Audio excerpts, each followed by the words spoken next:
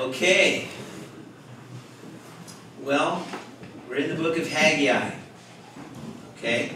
So open up there. If you're not sure where that is or you've forgotten, it's almost at the end of the Old Testament.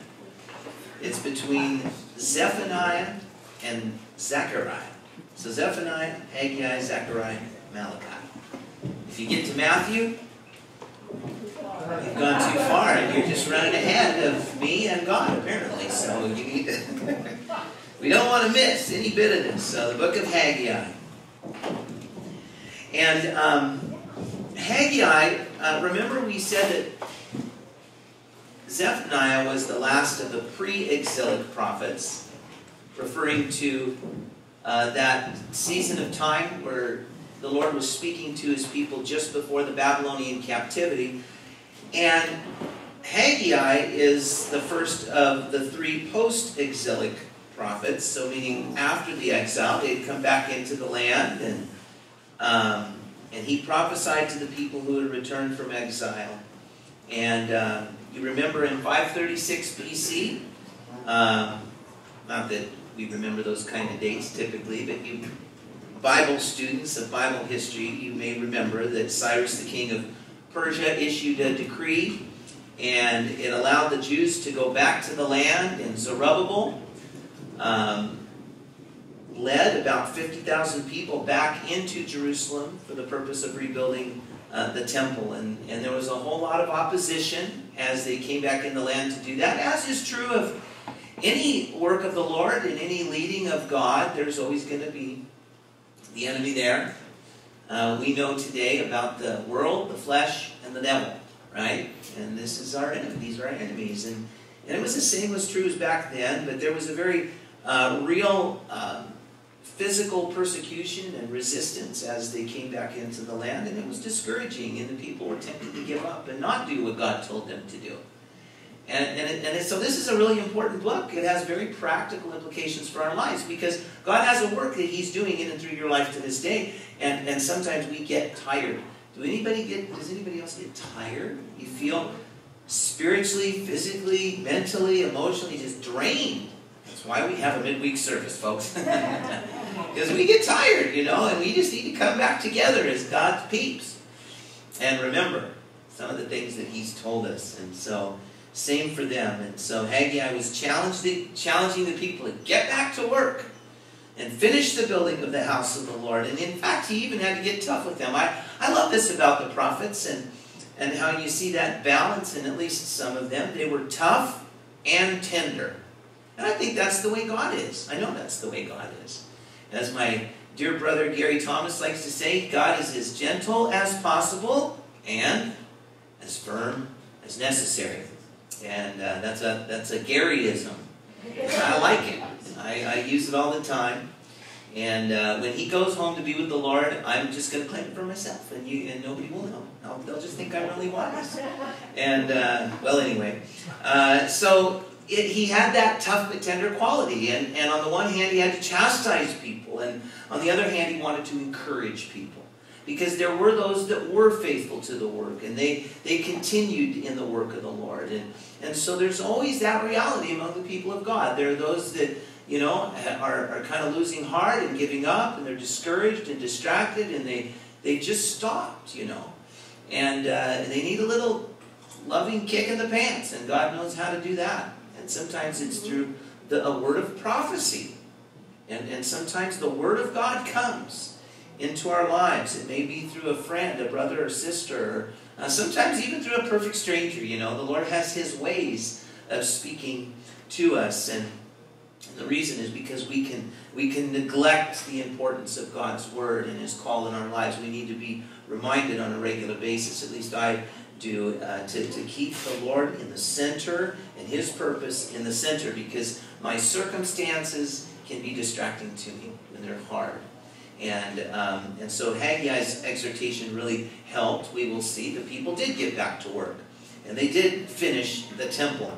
G. Campbell Morgan said this. I, I think it's um, just an interesting little anecdote. He said, Whereas the house of God today is no longer material but spiritual, the material is still a very real symbol of the spiritual.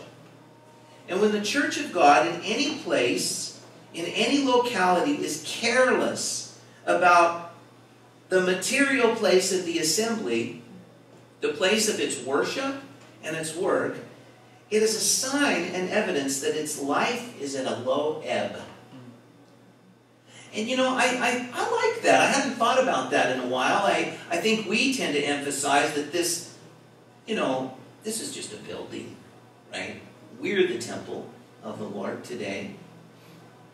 But let's not swing to the other extreme where we're not being thoughtful, grateful, careful stewards of what God gives us. You know, and uh, this is one of the reasons why we're, um, we're saving money and we're, we're drawing up plans and we're moving to try to get permits to, to do some remodeling in the church. It's, it's not because, you know, we want to be frivolous with, you know, with things. It's just that, you know, after about 20 years, things get tired looking and we want to kind of freshen things up a little bit. And, and, and so from time to time we do that. And I just think that's a part of good stewardship. I think it's part of loving people well when we're always rethinking, okay, how are we using our spaces? Aren't you guys thankful for this fellowship hall? Yes. It's a beautiful space. And I remember when it just used to be an old basketball court surrounded by trees. And it was just tired, and you know, the basketball court didn't get used very much, and the church was growing, and we needed the space, and you know, we could have just thrown up an old shack and called it good, but you know, God used gifted people, artistic, creative, talented people, and we, we did something, I don't think it's ostentatious by any means, but it's nice. And it's a space that we like to be in.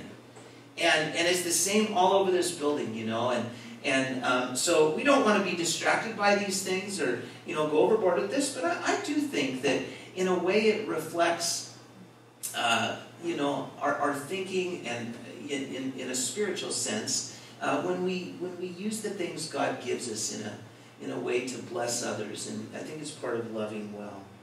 Well, um, in this book, we're going to see in the first part that uh, Haggai is rebuking the people, he's calling them to repentance. And then at the, in the latter part of the book, he's encouraging them as they begin to obey the Lord and get back to work and get back to the, the work of the temple. And, and there's this great balance that I think is so necessary for ministry of, of confronting people in their sin, but also encouraging them for their obedience and and the work that they're doing. And, and I think it's, it's unfortunate, but um, you know, it's easy in ministry for people to kind of uh, get beat up for their sins on the one hand, and then maybe on the other hand to just give a lot of sort of warm, fuzzy encouragement without real honest confrontation, you know. And, and I just really, I, I, I just appreciate all the more in my life as the years go by how the Lord does both. Sometimes He just kind of deals with me and in a firm way, and other times He just knows how to come along and encourage. And, and uh, so I think this book, as we go through it, if the Lord has some words of correction for you, don't, don't, you know, don't get your feelings hurt. How many of you realize God doesn't really care that much about hurting our feelings? Uh, he doesn't want to, you know, make us feel beat up, but sometimes he, you know, he just says it the way it needs to be said. But he's always, it's always with a heart of love and mercy, and, and he prefers to be gentle, but sometimes he is, he is firm. Well, in this message, there's a few little things, if you're a note taker. Uh, he first of all calls them to be honest. Um, and you'll see that as we get started here, and, and just to, to put God's um, house ahead of their houses. We're going to see some real practical application in our own lives because we can, we can, you know, Um, be living our lives, putting a lot of our resources into our own stuff, and, and little to nothing into God's stuff. And, and so he wants, he wants people to be honest about that, and I would encourage you to be honest about that too. He also appeals to them to be strong when we get into chapter 2, and to be clean and, you know, in the Lord's work, we, we've got to be strong. Because there's, again, one of the ways the, the enemy does what he does is we just get discouraged and, and we are weak. And sometimes we need, you know, Joshua was really good at this. He, he told the people, be strong and courageous, you know. And I think we need that reminder. And, and does that. But there's a sense, and also which he realizes that part of the issue, part of where they've gone off the rails, is, is they just don't live holy lives anymore. They don't live consecrated lives. All of their lives aren't being set apart for the purpose and work and glory of God. They were holding back most of their lives. And they were focused on just their own comforts and their own happiness and their own selfishness. And, and he says, hey, we need to clean some things up. And the idea is we've, we've become defiled by materialism and worldliness, and, and we're not holy. Holy, the idea of holiness isn't just pure and sinless, and it's, it's also set apart and consecrated to God. Our priorities are right. And then, and then he, he, he says, be encouraged.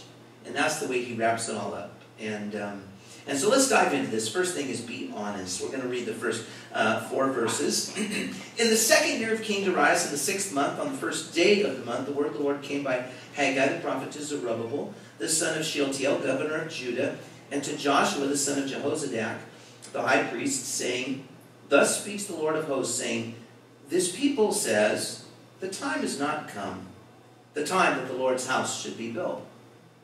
Then the word of the Lord came by Haggai, the prophet, saying, Is it time for you yourselves to dwell in your paneled houses, and this temple to lie in ruins?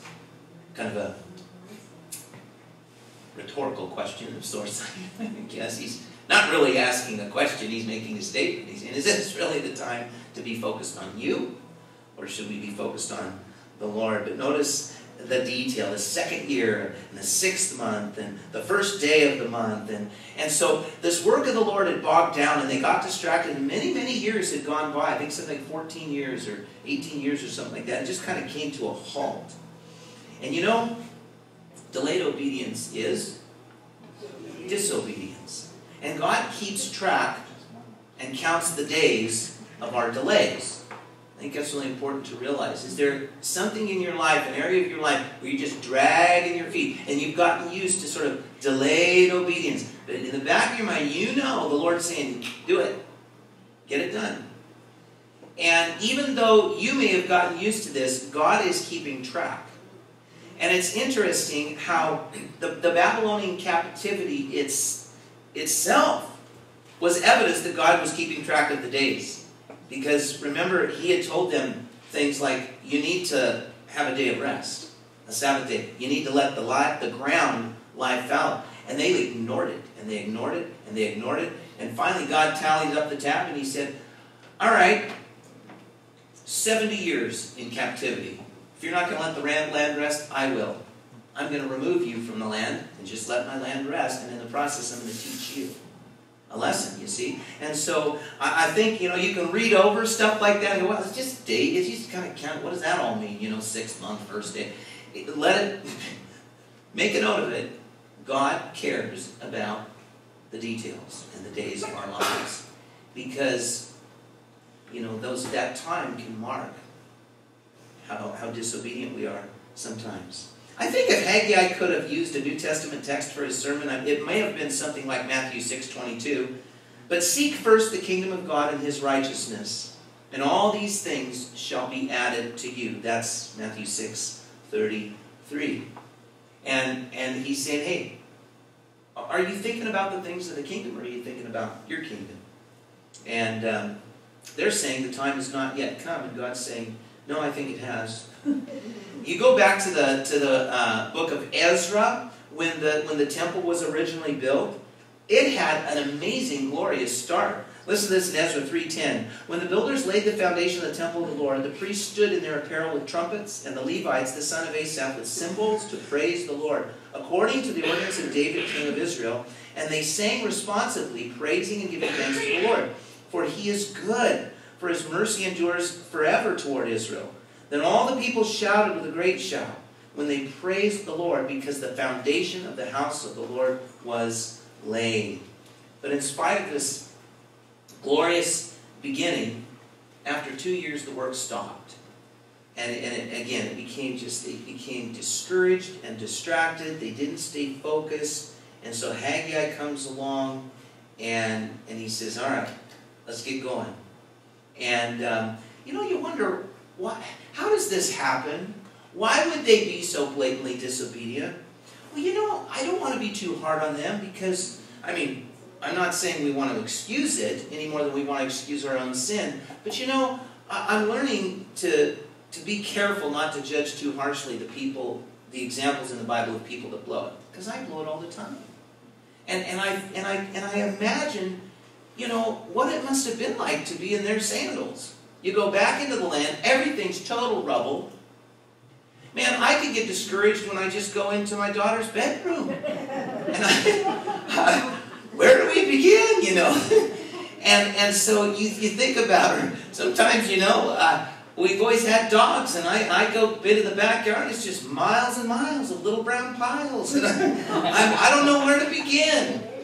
And I, I think to myself, how discouraging it must have been for these people. And, and, and, you know, after 70 years to come back into the land. And it was hard work. Have you ever been over there to the to, to, the, to the Holy Land? Have you ever looked at the stones at the Temple Mount? Some of them are as big as city buses.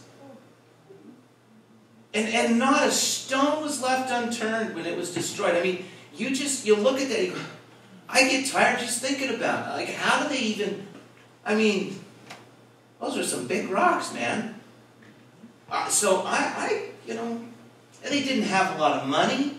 They didn't have a lot of manpower. There was famine, there's crops were failing. They had enemies resisting them at every turn. And you think about this in your own life, and sometimes you get overwhelmed. You know, and, and all of a sudden it's just like the children of Israel, how they wanted to go back to Egypt, and you're thinking, are you crazy? 430 years of slavery? And they're going, yeah, but at least, you know, at least we had this and we had that, and we had food and we had houses, and yeah, they beat the heck out of us, but at least, you know, we kind of, you know, we got used to it and we could live. Now we're wandering out in this God-forsaken desert, you know, and, and, and just think of your own life and how easy it is to get discouraged. But does God change the command and say, well, okay, I guess we don't really need to do anything. There's no work of the Lord. There's nothing I want to do of really any significance in this world in and through your life. I guess we'll just kind of shelf that idea. No, no, no. God says, no, we're, we're, going to do this. It's just that you're going to have to de- depend on God. It's only going to get done by the power and the grace of God. And guess what? You're going to have to trust Him. And you're going to have to obey, and you're going to have to put one foot in front of the other. And don't let hurt or fear be an excuse for a bad attitude or disobedience or unbelief. God has compassion for, for our hurts and our fears. Of course He does. But that's, that's not ever an excuse for delayed obedience or disobedience, right? And, and, and so, you know, they, so they made, they made their excuses sound spiritual, just like we can. And, but they couldn't really speak against the idea of building the temple, so they just spoke against the timing. It's not really the time. You ever do that? Well, I know I need to do that, but you know, it's just not the time right now. I got these other things that are more pressing. God says, hey, uh, be careful. seems like it's never the time to sacrifice, to do the Lord's work. But it's always the time to do something for me. It's always the time to. I mean, I'm seeing some heads nod. I'm so glad I'm not alone. And, and it really does come down to priorities. We need to be honest with ourselves regarding what we truly value. Where does our time and our energy and our money and our talent, where does it all go? We have a limited supply of each of those things, Do you understand? What are we doing with what God has given us? And will those things last eternally? Will they glorify God? Remember what Paul said in 1 Corinthians 3 10? He said, Because of God's grace to me, I've laid the foundation, like an expert builder. Now others are building on it. But whoever's building on this foundation must be very careful. For no one can lay any foundation other than the one we already have Jesus Christ. Anyone who builds on that foundation may use a variety of materials gold, silver, jewels, wood, hay, or straw. But on Judgment Day, fire will reveal what kind of work each builder has done. If that work survives, that builder will receive a reward. But if the work is burned up, the builder will suffer great loss.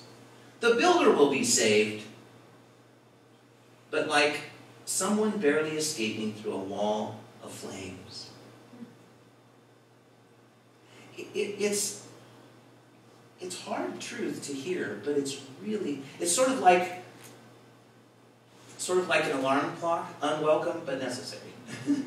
I think of, of these kind of scriptures like I don't want to hear it, and yet I need to hear it. Otherwise, I'll just waste my life. I'll sleep through everything good that God's trying to do, so to speak. In a parable about a wise and foolish steward, Jesus said this in Luke 12 48 For everyone to whom much is given, from him much will be required, and to whom much has been committed of him, they will ask the more. Hey, Darren, are you able to see any of those slides, like Luke 12 48? No. okay, sorry. We're working out some technical difficulties. The little slides are tiny. So anyway, uh, Paul echoed this sentiment when he said, 1 Corinthians 4.12, Now a person who's put in charge as a manager must be faithful. And then Matthew 6.19 to 21, Don't store up treasures here on earth where moths eat them and rust destroys them, and where thieves break in and steal. Store your treasures in heaven, for moths and rust cannot destroy, and thieves do not break in and steal. Wherever your treasure is, there the desires of your heart will also be. And so Paul is, or, or Haggai much the same way. He's, he's wanting us to be honest with our spiritual priorities and line them up with God's priorities. Why? Because souls depend on this, and, and also God wants us to experience His best, His eternal blessings. And so He's saying, be honest. Consider your priorities. The next thing He wants us to think about is what the, these people to think about is, is to realize why they're facing such adversities. In verses 5 through 11, he talks about their adversities. He says, uh, Now therefore, thus says the Lord of hosts, verse 5, Consider your ways. You've sown much and bring in little. You eat but do not have enough. You drink but are not filled with drink. You clothe yourselves but no one is warm. And he who earns wages earns wages to put into a bag with holes. Thus the Lord of hosts says, Consider your ways. Do you ever feel like the Lord says that to you? Hey, think about where you're going. Think about what you're doing. Think about the way you're thinking. It's important to think about our thinking because our thinking translates into living. What we believe determines how we behave. And so we need to consider our ways. And he was pointing out they hadn't been fruitful. And so as a result, adversity was now their reality. And they had spent all this time and effort building and decorating their own houses, but they neglected the house of God. Their priorities were upside down. And I think it's important to realize if, if you won't tell yourself the truth, God will. He will. He'll tell you the truth. And, and these judgments are a fulfillment of the promises that He made actually hundreds of years before in the time of Moses. Remember when God gave the, the commandments and Moses addressed the nation and he said, Here's what God expects in Exodus 20, and he, he lined it all out for them. And he said, basically, if you obey, I'll bless you. If you disobey, uh, you're going to be chastened. And sometimes it's out when our priorities are out of order, uh, he brings a little adversity into our lives. And it's, tempting to, to blame the devil for everything, and sometimes God says, No, don't give him credit for that. I've actually allowed some adversity into your life because you're not being a good steward of what I've given you. And so I'm allowing some hardship. Now, now listen, I'm not saying that's always what God is doing. I'm not saying that the enemy never is in the mix. Often it is kind of a mixture of both. What God's doing, the enemy's also trying to confuse us as to why God's doing what He's doing. And so, um, but but we got to have the right priorities, and um, and and sometimes He's saying, look, you know what? More attention needs to be to the Lord's work. I have to say this though: God's love and and salvation is never conditional on you know like what we do to earn it. But his blessings are conditional. And we have to trust and obey his word or we miss out on his blessings. I remember telling my kids when they were little, if they were being ornery or naughty in some way, whether they're being foolish or selfish or mean or ungrateful, you know, at dinner time, you know how it's pretty predictable with little kids. There's there's the morning routine, there's the meal routine, there's the bedtime routine, there's the chore routine. Anytime you're telling them to do something they don't want to do, it's very predictable. You just know that there's going to be certain, you know, shenanigans that they try and, and to get away with. And uh, I, you know, if my kids were acting up at the table, I would just, I'd, I'd, say, you know what, it's time for you to take a break. I want you to go sit down over there, and it'd always be kind of nearby where they could uh, hear the conversation and they could smell the food. you know, and fellowship and hunger can be great motivators, and and and they're listening in. Now, I never, I wasn't harsh about it, and I I never separated them from my love. But I did separate them from blessings sometimes. And I would tell them, look, if you want to enjoy the blessings of this family, then you need to abide by the rules and principles that make this family work. And, you know, it takes a lifetime to learn that stuff, but I think God does that with us too. I think sometimes He sets us on the sideline a little bit, and we miss out on some of the blessings, and He still loves you just as much as He's ever loved you. He's crazy about you. That's why He's disciplining you sometimes. And He's saying, look, oh, God doesn't love me, you know, you hate me, don't you, you know. He's saying, no, I love you. I do. But if you want to enjoy the blessings of the life that I have for you, then you got to abide by the rules that I've outlined to make life work. It only works the way I've designed it to work. And if it isn't working, it's because you're trying to do it your way. And um, so he says, consider your ways. And then we get to verse 8. He says, Go up to the mountains and bring wood and build a temple that I may take pleasure in it and be glorified, says the Lord. You looked for much, but indeed it came to little. And when you brought it home, it blew away. Why, says the Lord of hosts? Because of my house that is in ruins.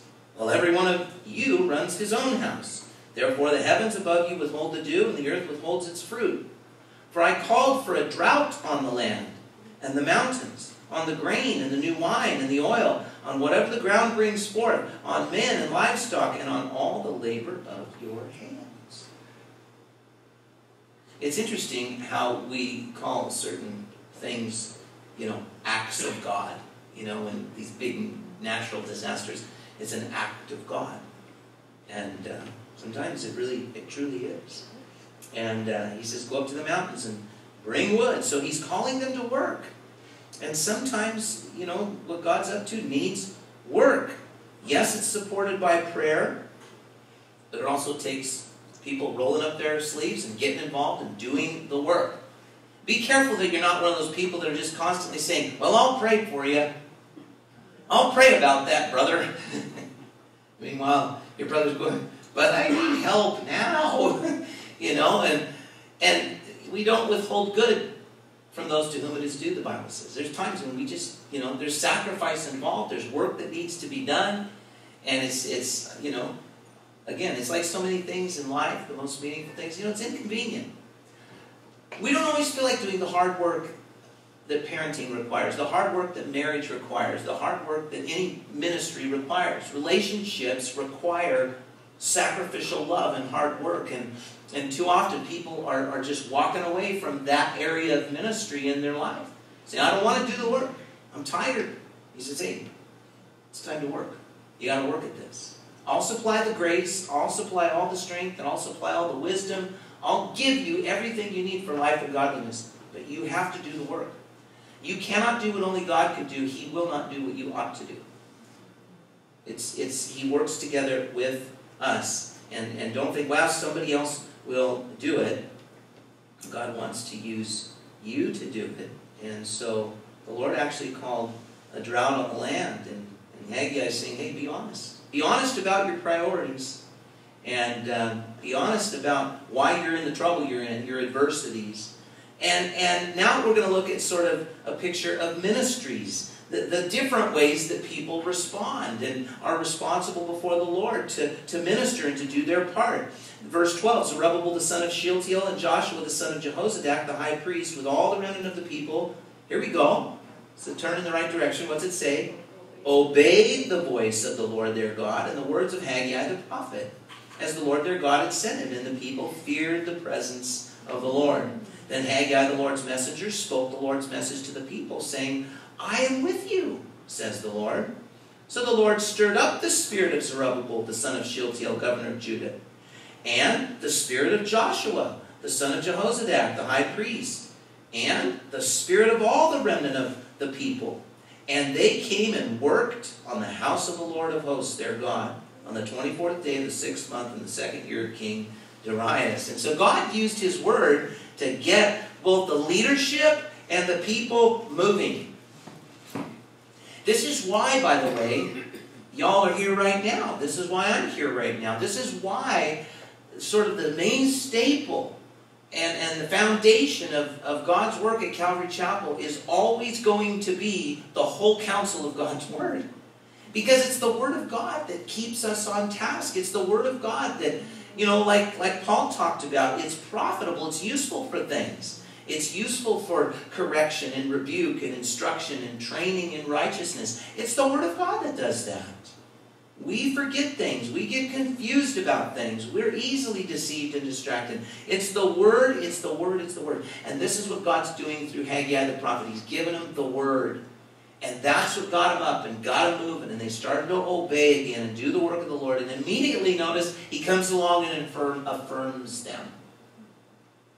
You know, I've seen some parents with their kids, and their kids are just withering under their parents' instruction discipline because they're just so critical. And, and the kids can never do enough to please them. It's really important as parents, as grandparents, it's really important as faithful, godly friends that, that we, we're, you know, yes, there's a time of correction. Yes, there's a time for rebuke. Yes, there's a time to go and speak the truth in love. But the thing I love about the Lord is the minute that we start moving in the right direction, He comes along and He says, Hello, boy. He just encourages you. We got a new puppy, some of you have seen on Facebook. She's not saved yet.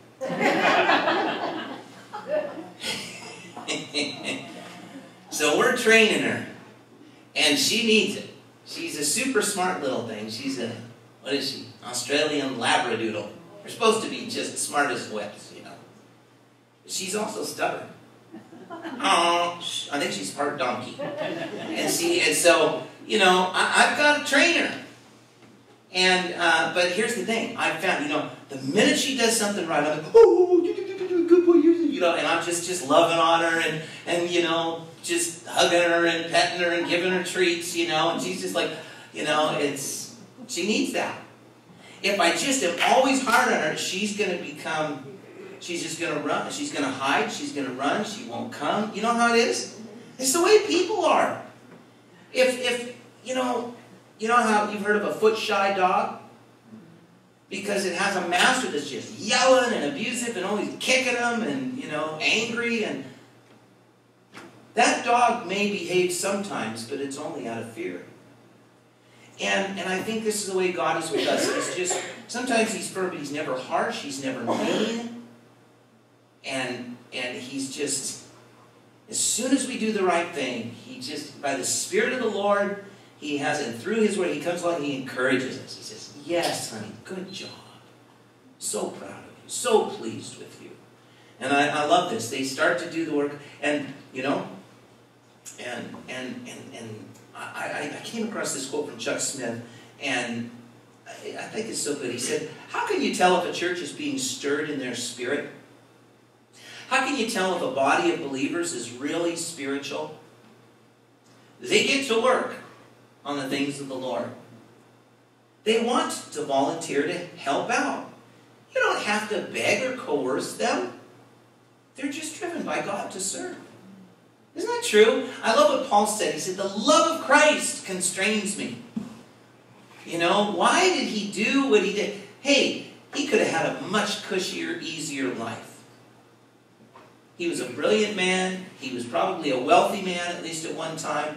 He was a powerful, influential man. He had all the perks, all the benefits, all the status a person could ever want. And he gave it up to serve the Lord. And he suffered a lot for it. Why did he do it? He was constrained. He was absolutely compelled by the love of Jesus for people. It's the way we want this church to be. I hope you never feel beat up or like I'm just kind of cracking the whip or come on, you guys, get going, you know. we, we let you know constantly about opportunities. We let you know about needs. We, we just put it before you. There's no obligation to do anything. But there's always an invitation. And you can never outgive God. You'll never be able to outgive God. In fact, I challenge you, I encourage you, try. Just try. You'll just be doubly blessed. God will exponentially bless you. I don't care what, I'm not talking just about in, in material things or, or, or monetarily. Just you try to outgive God with your time and your love and your talents and your treasure. Just, just give it to the Lord and see what happens. And, and you, will, you will have such an abundance, as Jesus said, is just like pressed down, shaken, and overflowing, and you just, you just can't outgive God. And so the Lord here is encouraging the people as they began to obey, and Haggai's saying, hey, this is what I'm talking about. And uh, do we have that kind of attitude? The Lord stirred up the spirit and they came and worked on the house of the Lord. And, and they had a new fear of the Lord. They had a new reverence for the things of God. They had a new love for God and for the house of God and the work of God and the people of God. Do you think that way? I hope you do. We come into chapter 2 and there's three messages, and I'll speed up as we kind of finish out here. Three messages are presented in chapter 2. Uh, he says, In the seventh month, on the 21st of the month, the word of the Lord came by Haggai the prophet, saying, Speak now to Zerubbabel, the son of Shealtiel, governor of Judah, and to Joshua, the son of Jehozadak, the high priest, and to the remnant of people, saying, Who's left among you who saw this temple in its former glory, and how do you see it now? In comparison with it, is this not in your eyes as nothing? Yet now, be strong, Zerubbabel, says the Lord, and be strong, Joshua, son of Jehozadak, the high priest, and be strong, all you people of the land, says the Lord, and work. For I am what? With you. I'm with you. I love that. Says the Lord of hosts, according to the word that I covenanted with you when you came out of Egypt. So remember your history, folks. And he says, So my spirit remains among you. Do not fear. For thus says the Lord of hosts, once more, it's a little while, I'll shake heaven and earth, the sea and dry land, and I will shake all the nations. They shall come to the desire of all nations, and I'll fill this temple with glory, says the Lord of hosts. The silver is mine, and the gold is mine, says the Lord of hosts. The glory of this latter temple, temple shall be greater than the former, says the Lord of hosts. And in this place I will give peace, says the Lord of hosts. And so the times were hard, the people were poor, the leaders were discouraged. And this restored temple was going to be nothing like the temple of Solomon. And so you can just imagine the people wondering, is this really worth it? I mean, Solomon's temple was pretty glorious. People came from all over the world and they could see it from miles and miles away. I mean, it just shined like a city on a hill. I mean, it really truly was a city on a hill. But I mean, it, it just was a blaze of glory of marble and gold and it was just a beautiful thing to behold. The people did not realize what the prophet was really getting at, that would be fulfilled in their day in a very small sense, but later in the future it was going to be revealed as the glory of the Lord Himself. Just like the good old days when the glory of the Lord came in and filled the temple. There was going to come a day in the future where Jesus Himself was going to go into the temple. Remember that? And it's going to be that way in the end of days. And so again, this prophecy, there's sort of an, uh, an early and, and, and latter fulfillment. But the people, if you go back to Ezra chapter 3, and we don't have time to turn there, but I'll just read it to you. Verse 12, it describes the people who had seen the first temple and, and, and, and what it felt like just 16 years before this prophecy of Haggai when the work of the rebuilding of it began. Listen to what Ezra writes. But many of the priests and Levites and heads of the fathers' houses, old men who'd seen the first temple, wept with a loud voice when the foundation of this temple was laid before their eyes. Yet many shouted aloud for joy, so that the people could not discern the noise of the shout of joy from the noise of the weeping of the people. For the people shouted with a loud shout, and the sound was heard far off. And so here's what's going on. The older generation is watching the new temple be built, and they're really sad because they're remembering the good old days and they're going, Are you kidding me? This is nothing like the good old days. And the new people are excited for the new work of the Lord.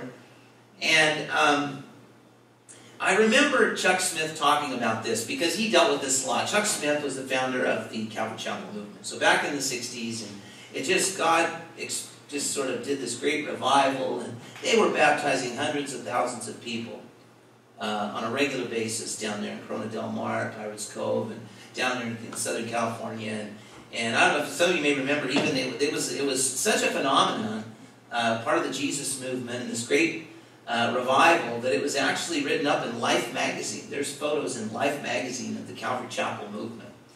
And so what has happened over the years is people remember those good old days. I've had so many people over the years come to this church and tell me, I was back under the big circus tent, you know, because they couldn't fit in the building, so they brought in the big circus tent, and they'd have thousands of people in the circus tent.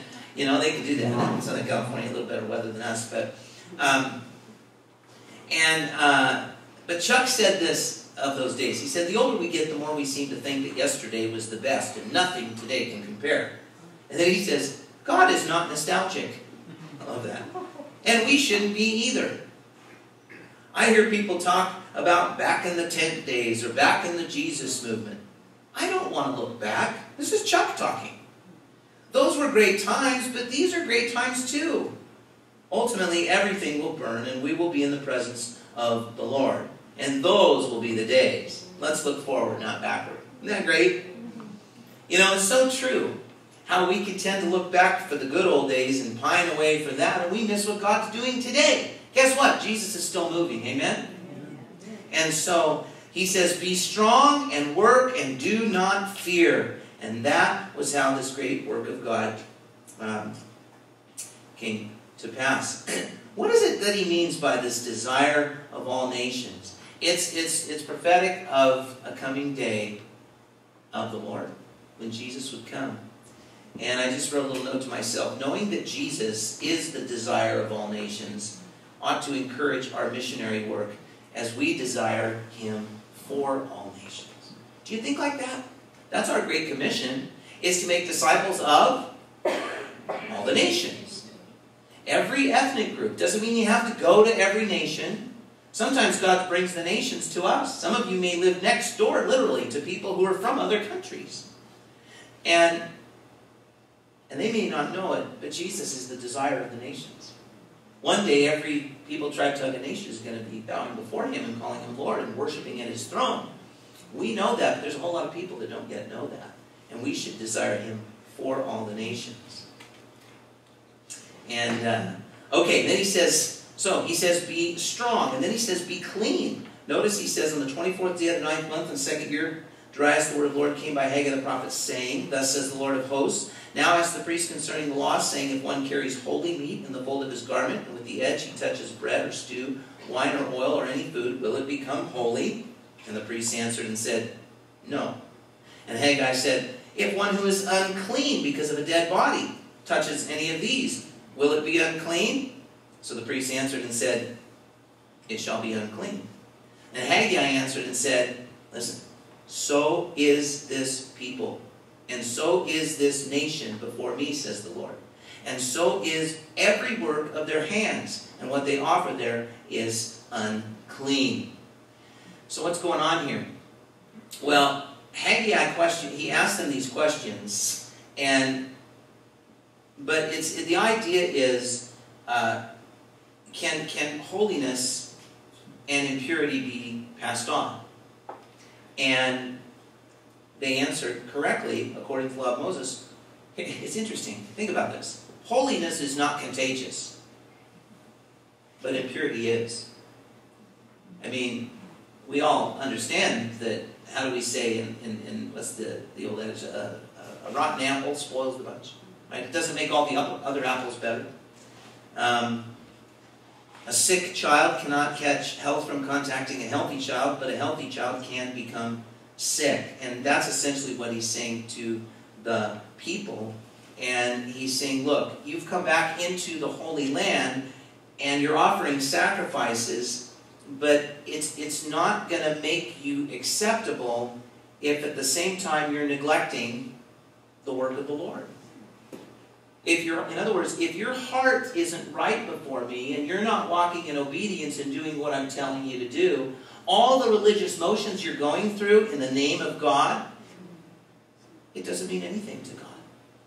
You understand? This translates into our lives just as relevantly today. We can go through all these religious motions and go to church on a regular basis and, and even serve in ministry and do different things, but if our heart isn't in the right place, it doesn't mean anything to God. And so he's telling them you need to get back to the right focus. So the priests couldn't share holiness, but they could spread sin, and that was the cancer that was in their midst at this time. Verse 15, And now carefully consider from this day forward, from before stone was laid upon stone in the temple of the Lord. Since those days when one came to a heap of twenty ephahs, there were but ten. But when one came to a wine vat to draw fifty baths from the press, there were but twenty. I struck you with blight and mildew and hail in all your labors of your hands. Yet you did not turn to me, says the Lord. Consider now, from this day forward, from the 24th day of the ninth month, from the day that the foundation of the Lord's temple was laid, consider it. Is the seed still in the barn? And yet the vine, the fig tree, the pomegranate, and the olive tree have not yielded fruit. But from this day I will bless you. It's interesting to me that God wants to save us more than we want to be saved, and He wants to bless us more than we want to be blessed. It's, it's really true. The people had been defiled, and God would not bless them. But He's saying, Look, now that you've turned to me, I promise a blessing. I will make you clean, and I will bless your life. What is it that makes us clean before God? Well, the Bible says it's the blood of Jesus. Do you remember? How about this scripture? 1 John 1, 5 through 9. This is the message we heard from Jesus and now declare to you. God is light and there's no darkness in him at all. So we're lying if we say we have fellowship with God but go on living in spiritual darkness. We're not practicing truth. But if we're living in the light as God's in the light, then we have fellowship with each other, and here it is, the blood of Jesus, his son, cleanses us from all sin. If we claim we have no sin, we're only fooling ourselves and not living in the truth. That's what these people were doing. We can do the same thing. But here's what he wants you to know. If we confess our sins to him, he's faithful and just to forgive us our sins and to cleanse us from all wickedness.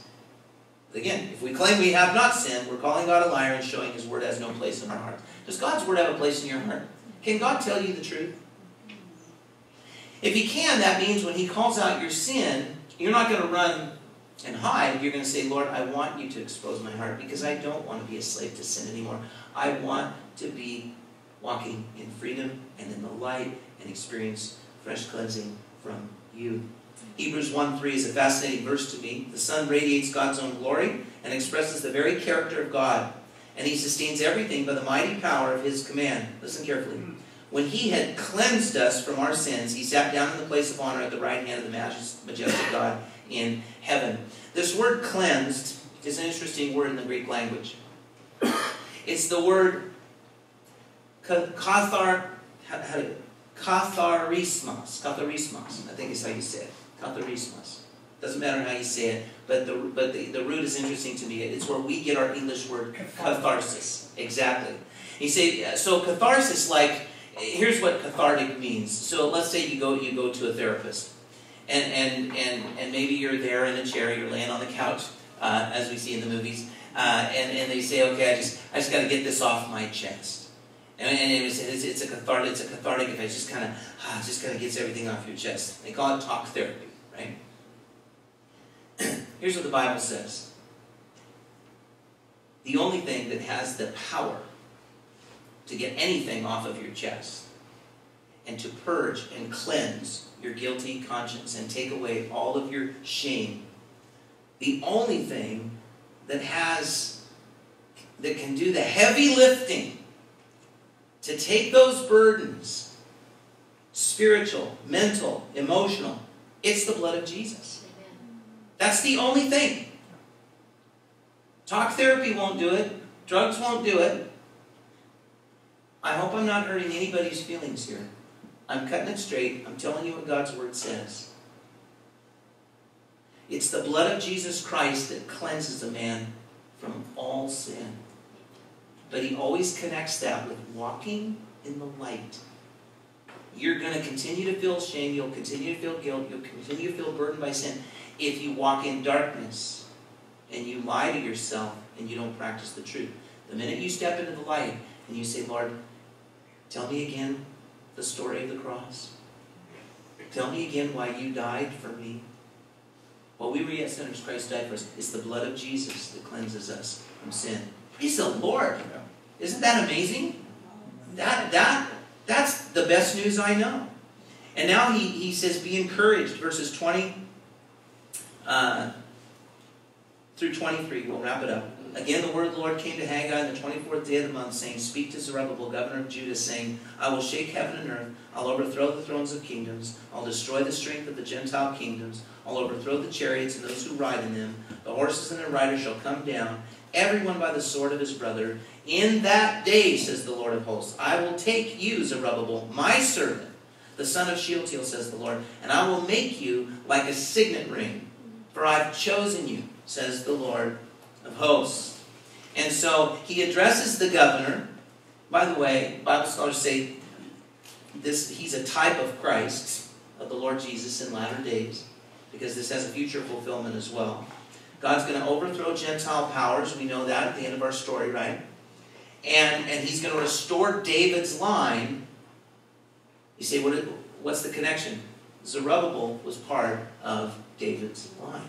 Here's what's so fascinating. If you if you look it out, you can look at it later. We go to Matthew chapter 1, verse 12, and, and you see in the genealogies, it's helpful to look at genealogies. Every one of those names is there for a reason.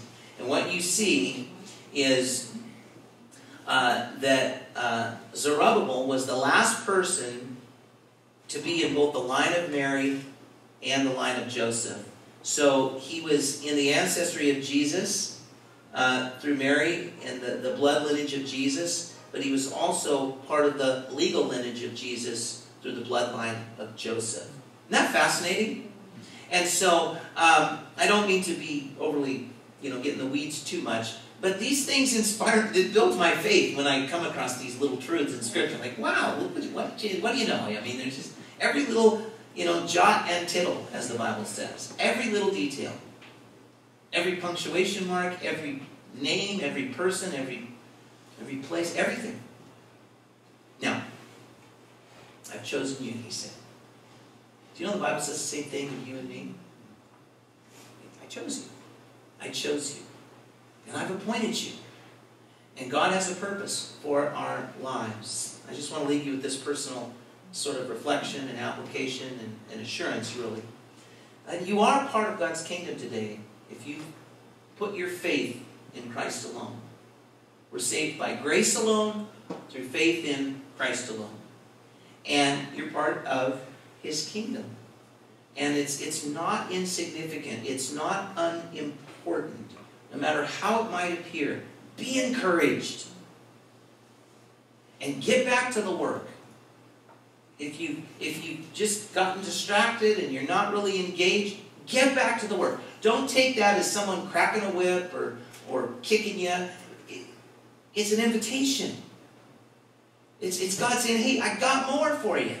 Your life isn't over. I told you the story, I think, recently of how the Lord has had to say that to me at certain times in my life when it was really dark, when I was going through cancer and I was feeling sorry for myself and I'm dying. And the Lord had to tell me often, John, you're not dead yet. you know, I get back to the work. I'm doing a work.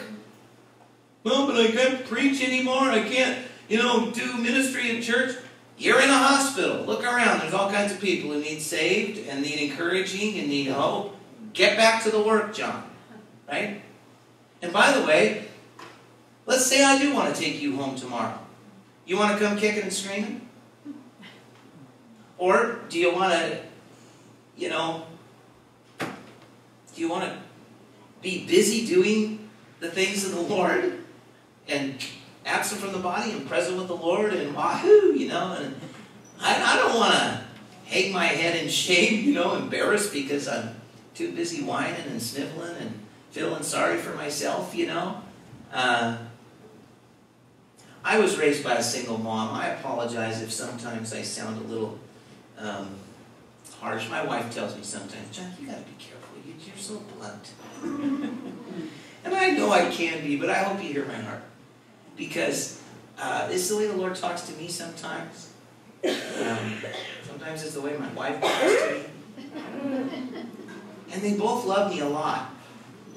And they tell me what I need to hear sometimes. But you know, they're also full of compassion and mercy. And, and they both have figured out when I, I don't need a kick in the pants, but I just need encouragement. But you know, God doesn't ever contradict himself. There's that perfect balance. Sometimes he's correcting, sometimes he's encouraging.